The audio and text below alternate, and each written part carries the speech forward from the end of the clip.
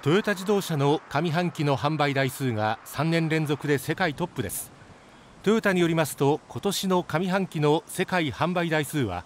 グループ全体で前の年の同じ時期に比べ6%減って513万7811台となりました。新型コロナの感染拡大や半導体などの部品調達が困難だったことが背景にありますが世界販売台数はドイツのフォルクスワーゲングループを上回り3年連続で世界トップとなりました。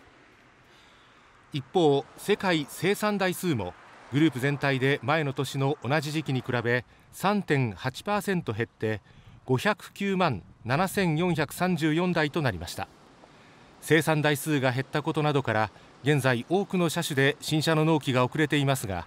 トヨタは回復傾向と見込んでいるが先行きは不透明。一日でも早く車を届けられるよう努めたいとコメントしました。